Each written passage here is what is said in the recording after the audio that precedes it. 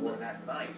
So Come on, he Daddy, gave us help a you hold scale. Get in there. What I did is I took the width of his Sit boot and then I compared it to the width of the Get Sasquatch the arm footprint. out from underneath. All right, so these are, some rough numbers at your feet here. I have uh, six and a half inches wide, about seventeen point three inches long.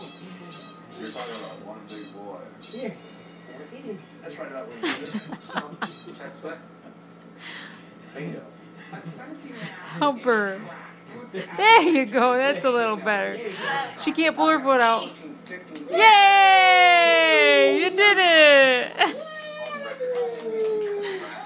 They up into two different sections, basically. One's about 17 inches and the other one's about 14, 15 Sit in it. long. So I think what we have here is probably a large adult male cruising along the road.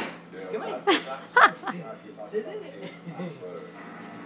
Me Personally, the first Sasquatch I ever There saw you go. huge. There you Elinor's very own chair. Yay!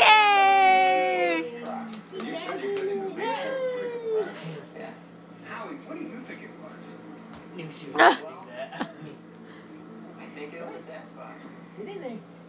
You know, it's nothing that I could identify. Wanna sit in So, It certainly looks more like a squatch than a bear track. It's got more of that toe arch of a squatch track than a human.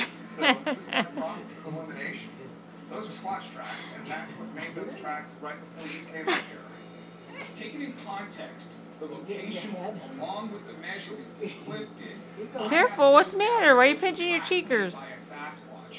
I think this Why are you pinching your cheeks? tracks for me. Huh? As I am looking at that, I see what would be a bear track. There you go. You did it. Pushing down to the ground. Good girl. Yay! No question in my mind. I really feel you guys did track a Bigfoot that day. Yay! Other bee.